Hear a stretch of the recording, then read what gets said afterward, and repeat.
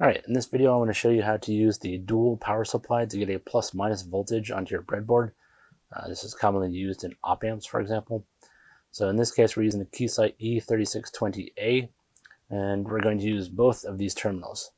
Now, one of the things you want to keep in mind uh, that is this power supply, as soon as you turn it on, that you have voltage across the, the both power supplies, even if it's not selected to be display the voltage. Uh,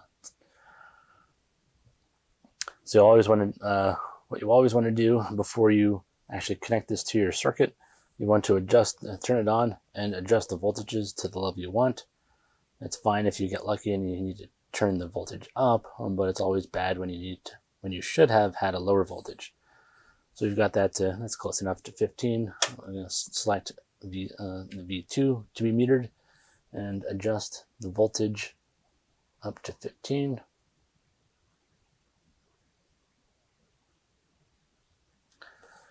One of the things you want to keep in mind is that voltage is always measured the potential between two different terminals or across a component for a resistor, for example. So the potential, so this terminal is usually marked positive, this terminal is marked negative. Uh, black usually goes with ground or negative or reference, and red usually goes to positive. Uh, you always want to, typically want to keep that color coded. It's just less to worry about when you build your circuit. Now we're going to connect both of these terminals together in a way so that we can have a reference voltage and the other two terminals will be uh, the potentials that we're using. In order to do that, I want to join the positive of one into the negative of another. Now, so the idea is that you can travel along. So this will be the, the most negative potential voltage. And this is our reference. So this will be like, this will be our equivalent of zero volts then this is going to be our highest potential. So I'm going to use the meter probes uh, that are connected to the Keithley. So this is going to be my reference. And so these two terminals are electrically connected so that there is zero potential between these two.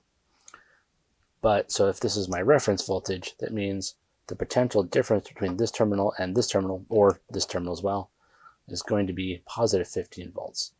Now my potential difference between either of these two points and this point is going to be negative 15. Since between this point, if this wire is unconnected, the potential difference is 15, but we're going negative, more negative potential in reference to this point.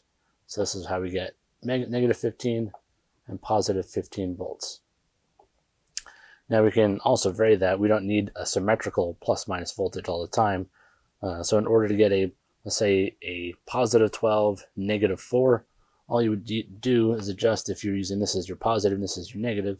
All you would need to do is adjust the voltages to positive 12 and then this to 4 volts. And so you'll get negative 4 volts here and positive 12 volts here with reference to this center point. Now,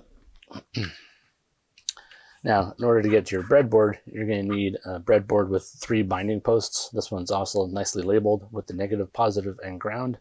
Uh, ground is also can be just referred to as reference.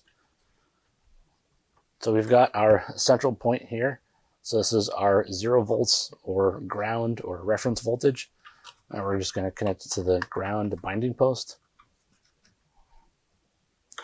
We're going to take our positive we're going to connect it to the positive binding post. And we're also going to take from our from the negative, we're going to connect it to our negative binding post. So if I use my multimeter probes, connect it to the reference. So at this terminal, I have negative 15 volts, and at this terminal, I have positive 15 volts.